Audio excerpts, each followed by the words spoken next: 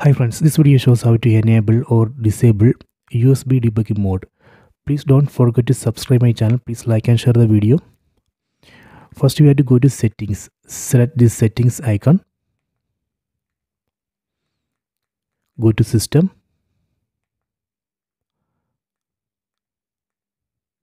Go to about. Go down and select Android TV OS build. Here we have to press OK button or select button on the remote 7 times.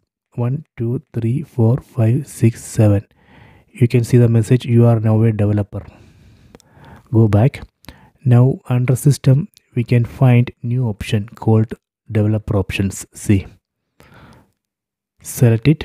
So these are the developer options. From this list let me find USB debugging mode. See. Select it.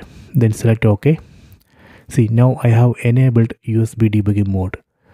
If you want to dis disable USB debugging mode again select it and disable. So this way we can enable or disable USB debugging mode. If you want to disable developer options completely we can disable here. See then go back. See now under system there is no developer options because I have disabled it. So this way we can enable or disable USB debugging mode. Please try this